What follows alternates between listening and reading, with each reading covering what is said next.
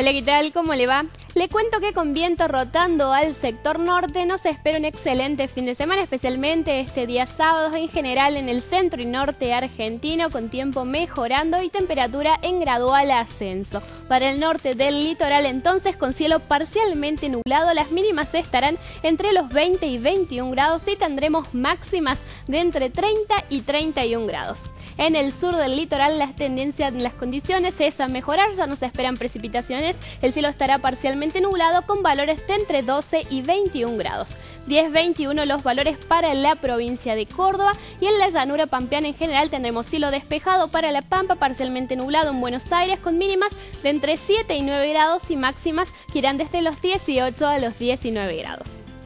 En las provincias de Cuyo tendremos valores de entre 5 y 18 grados y nubosidad variable. Y para la precordillera Tucumán y Santiago del Estero muy buen tiempo, cielo parcialmente nublado, mínimas de entre 10 y 12 grados y las máximas irán desde los 22 a los 25 grados.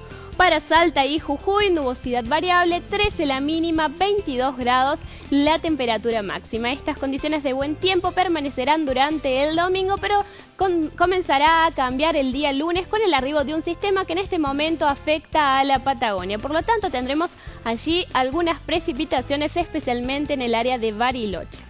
Allí la mínima será de un grado y la máxima alcanzará los 8 grados. Para el sur de Santa Cruz y en Ushuaia entre 0 y 1 la mínima con máximas de entre 7 y 9 grados y el cielo también estará parcialmente nublado. En Malvinas, cielo parcialmente nublado, despejado, 4-9 los valores.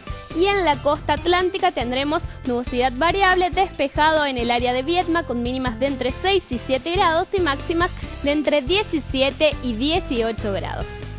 Recuerde que si necesita más información puede consultar todos los días nuestro sitio web en www.infoclima.com. Eso es todo por ahora y los espero en la próxima emisión nuevamente con el pronóstico del tiempo.